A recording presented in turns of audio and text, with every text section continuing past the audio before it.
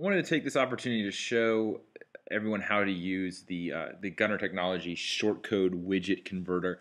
And uh, if you have that plugin installed, the uh, the Gunner Technology shortcode plugin, it allows you to embed any widget you may have on your site as a um, as a shortcode.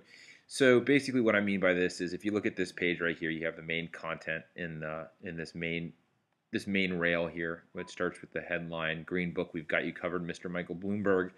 And on the right-hand side, you have this sidebar. And as you, if you're familiar with WordPress, you know that you put widgets in sidebars, which is all good and well. You have cool stuff like Facebook, ads, uh, Twitter, uh, appointments, latest news.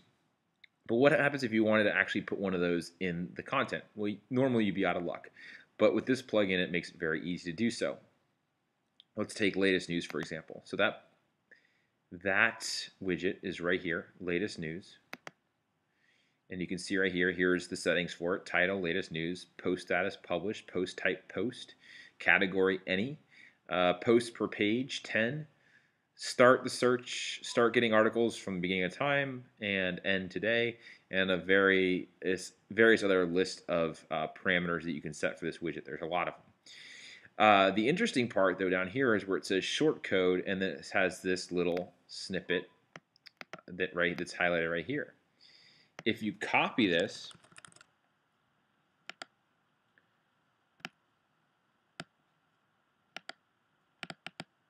if you copy this and then go into the actual post and paste it, update this.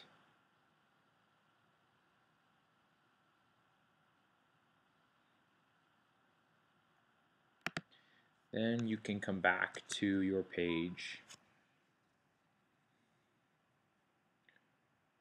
refresh,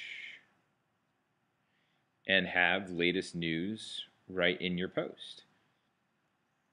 Now, we also give you the ability to override some of the settings. So you see here, it says latest news. You can go in here and uh, you can override the parameters you set. So if you wanted to say title equals it's a short code updates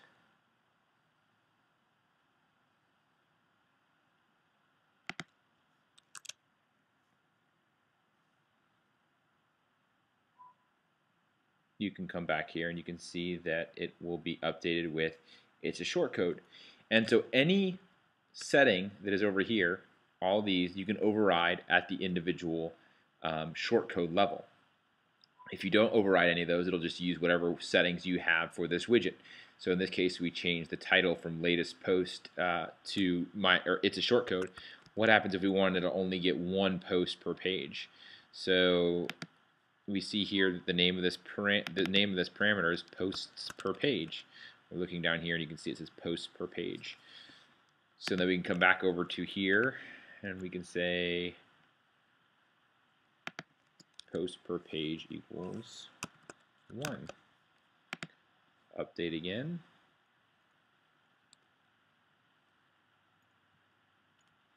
Come back here and refresh.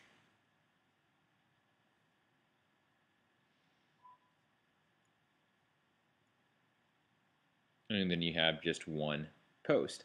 So any widget you can see, we can look at any of these widgets. Any of these widgets now have the shortcode that you can take and you can paste into the body of a post, a page, or whatever else you want to, and it'll automatically put the widget right there. So the only tricky part is figuring out what fields you can override. And so to do that, again, I just use uh, the DOM inspector to look at the field, and you'll see between brackets here it says this this one would be called num results.